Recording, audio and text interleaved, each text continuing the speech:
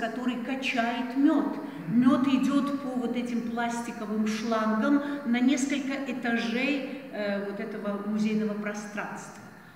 Насос в данном смысле символ университета. А мед, продукт пчел, это как духовный продукт человека. Да? Вот, вот в таком виде был показан этот процесс, где Бойс шаманил. В мед он добавлял какие-то там золотые э, может быть, кусочки той же фольги, вот как шаман создавал некий ценный продукт. Потому что в том же мифе об Одине Один был спасен медом, получившим из рук своего деда. То есть мед тоже входит вот в эту символику бойсовских работ. Ну, вот это все, это медогонка на рабочем месте. Это уже где-то 74 год, где Бойс выступал в галерее Рене Блока. И это была американская галерея. А, Все действие заключалось в том, что первое знакомство Бойса с Америкой будет в такой интересной даже форме. Он отказался ступать на землю Америки, встречаться с американцами. Его перевезли в том же войлочном коконе самолетом из Германии в Америку. На скорой помощи его доставили в галерею. И в этой галерее три дня он пробудет с диким койотом. Скажите, рискованная, да, в общем-то, акция. Дикий койот, который не был приручен, потому что через три дня, когда этого койота выводили, он покусал э, других людей. И вот во время общения с этим диким койотом Бойс то стоял как шаман, закутанный в войлок, то провоцировал койота, и койот там кусался, то читал ему или давал эти газеты, американские газеты, бросал, то чертил треугольники. И в результате этих трех дней обнялся с койотом, как близкие два существа.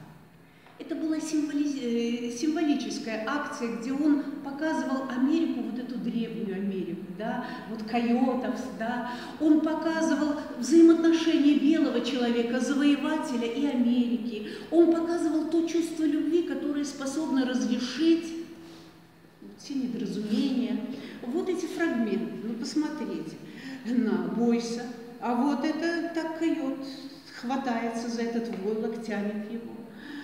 А, вот он с каким-то треугольником стоит, и мы видим Бойса лежащим, как ему не страшно было все-таки столько ночей провел с этим абсолютно диким животным.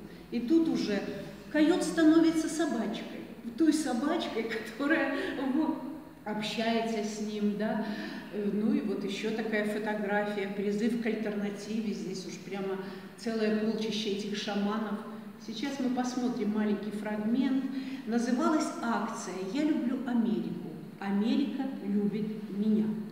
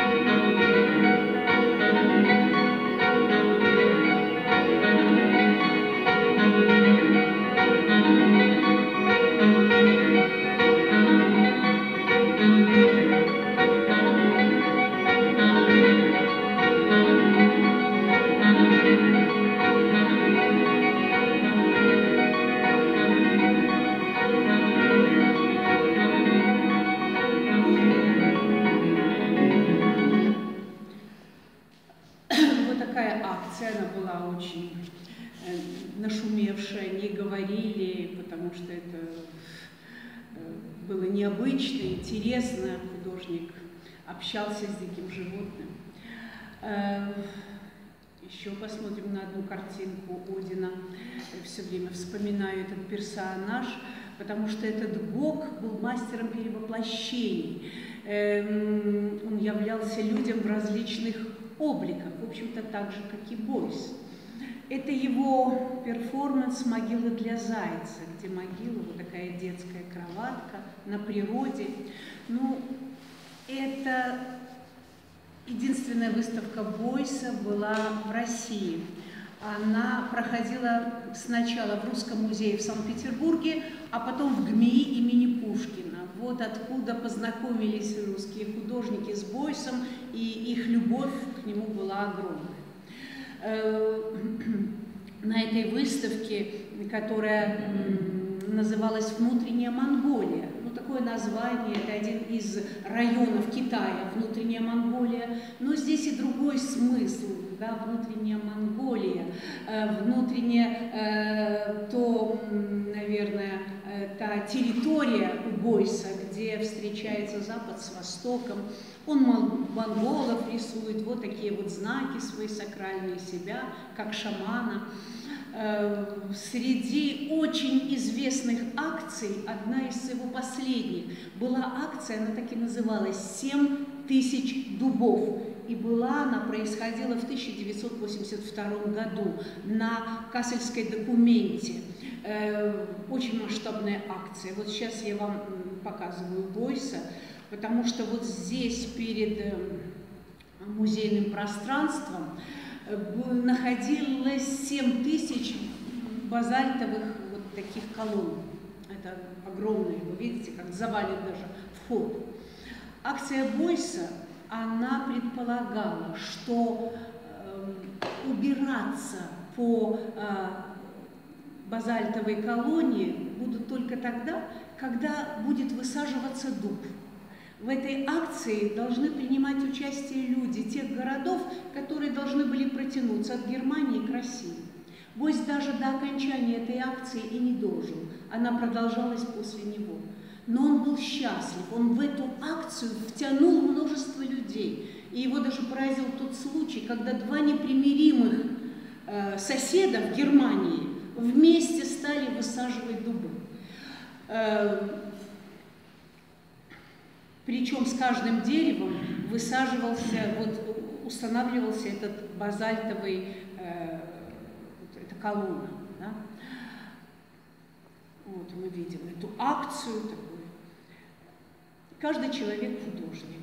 Для Бойса очень важно понятие такой э, социальной скульптуры, где каждый художник творец своей жизни, э, творец вот таких акций. Э, среди друзей Бойса, видим, был Энди Уорхол. Они такие разные, но как-то очень поняли друг друга, э, потому что, наверное, один и другой был той фабрикой по производству дискурса, то есть собственной легенды. Э, Энди Уорхол все время был с загримированным лицом. У него на голове был парик, седой парик, он носил парик, у него проблемы были с волосяным покровом у Орхола. Бойс, ну так как он заяц, он носил фетровую шляпу. Э, они встречались и в Америке, и в Германии. Один художник – шаман, другой художник – медиум. Только нужно понимать, что в значении медиума, но связанного с техническим смыслом. Э, вот они вместе, э, смотрите, на э, Уорхола. Энди Уорхол – это тот художник, о котором, ну, тот же эм, близкий друг Уорхола сказал так, что самым лучшим произведением Уорхола является он сам. Но для нас важно, что и Бойс, и Уорхол, и Ив Кляйн, о котором мы будем говорить, это те художники, ну, которые логически довели искусство к этим акциям. Ну, посмотрите, начинается 20 век, и все время в живописи что-то отнимается. Светотеневая моделировка, да, фигуративное искусство, потом и рама уходит, потом э, уходит, ну я уже не говорю о сюжете, который уже давно ушел, появляются эти объекты, эти э, вещи, взятые из магазина, да, и уже следующий акт, когда э, действительно художественным событием действие, сам художник. Правда, они отказались от кисти. То есть уже представить художника с кистью в руке уже как-то и не надо. Потому что вот он демиург, уже достаточно акция, да, его, чтобы привлечь внимание. Эм, Ворхол, в отличие от Бойса, ну такой светский селебритис, дэнди, он аполитичен, он циничен, Ворхол. Для него самое главное это доллар, да, нет. Вот, он хочет быть художником-капиталистом. У Бойса таких целей не было. Но вместе с тем Бойс признавался, что с Ворхолом э, он бы мог сотрудничать. Вот они опять-таки вместе. Э, Уорхол тогда сфотографировал Бойса и создал ту картинку, которую я в начале лекции показывала. Э, для Бойса художник это шаман, тот, который только шаман Бойс, а, забыла сказать вам важное. Бойс шаман необычный шаман. Обычно шаман это тот, кто мир духов, да, вот эту информацию из мира духа передает людям. А Бойс, он этому высшему миру передавал человеческий месседж, правда? Вот. А что касается Ворхола, кем он хотел быть? Машиной. Машина не стареет, машина не умирает. То есть один завышал роль художника-творца, а другой занижал, ну да, машина. Вот. Э, такие они разные, в чем-то похожие. Э, э, вот произведение Энди Уорхола. Я быстренько вам скажу то, что, может быть, на лекции об оси не было сказано. Дело в том, что в таком искусстве вроде бы радостно. Вот заходишь на выставку Энди Уорхола, и такая радость, эти цвета, красочные, все.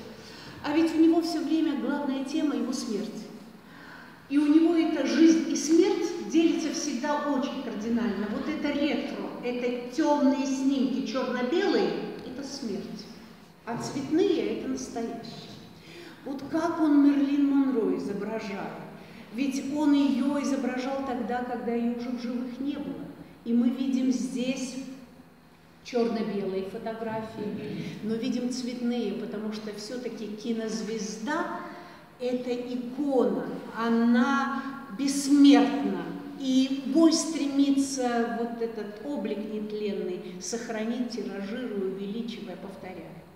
Когда Элизабет Тейлор изображала Энди Уорхол, то вся Америка знала о страшном диагнозе, который был э, уже вынесен этой актрисе. Поэтому здесь опять-таки вот это балансирование между жизнью и смертью. Элвис Пресли представлен Энди Уорхолом как герой э, вестерна «Погашая звезда». В этом вестерне погибали все. Вот. И здесь мы опять видим и черно-белый снимок, и цветной.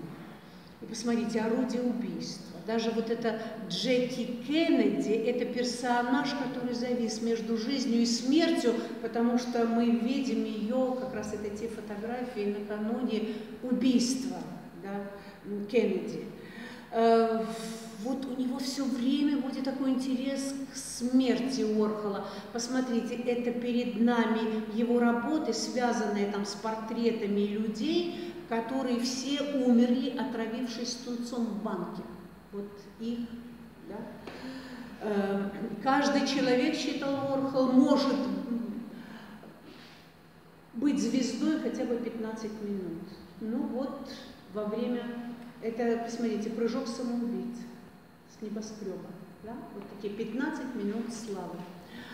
Э, что это такое? Это электрический стул. И вот желание Энди Уорхола – то, что страшное, то, что связано со смертью, обличить в орнамент, в цвета, в такой камуфляж радостный. или вот перед нами машины, и тут же его серия автокатастроф. У него будут всегда, он работал, это шелкография, как фабрика работала. Думаешь, а что же делал Уорхол? Матушка его, обладающая красивым почерком, все подписывала. Шелкография – это тиражирование, он фотографировал. А что делал он? Да? То есть его фигура тоже в этом процессе. Ну, катастрофы. Вот эти катастрофы, где под колесами машин гибнут люди. И вот уже целая такая представлена серия этих катастроф, э, которая стала орнаментом.